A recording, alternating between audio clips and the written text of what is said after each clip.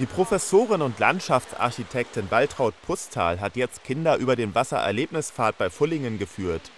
Im Mittelpunkt der zweistündigen Führung standen verschiedene Fragen wie welche Pflanzen und Tiere gibt es in der Echerz?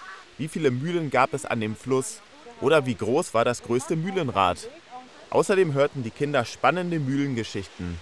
Die Echerz ist ein insgesamt 23 Kilometer langer Fluss